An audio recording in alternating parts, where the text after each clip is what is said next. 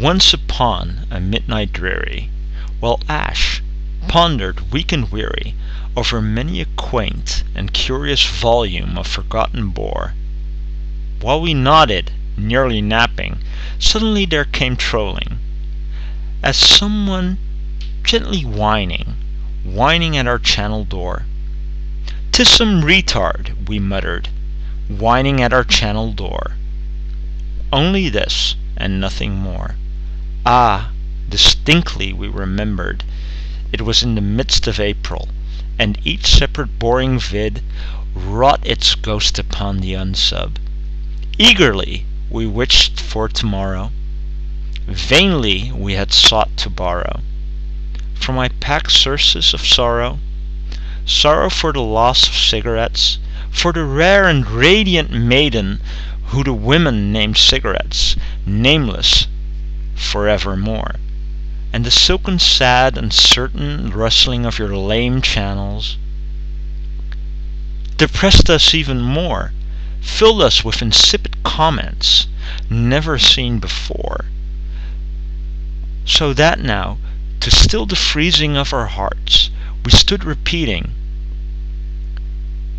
"'Tis some troll entreating entrance at our channel door, Some late visitor troll entrance at our channel door. This is it, and nothing more. Presently our souls grew stronger, Hesitating then no longer.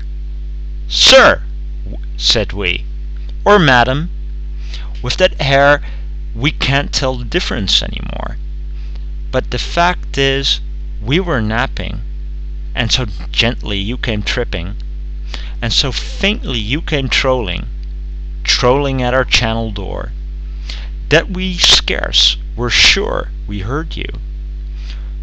Here you opened wide the door. Ashes there, and nothing more. Deep into that darkness peering, Long we stood there wondering, fearing, Doubting, dreaming dreams no user ever dared to dream before. But the silence was unbroken, Another video uploaded as a token, And the only word there spoken Was the whispered word "Troll." This we whispered, and an echo murmured Back the word "Troll." Merely this, and nothing more. Watch the raven, nevermore.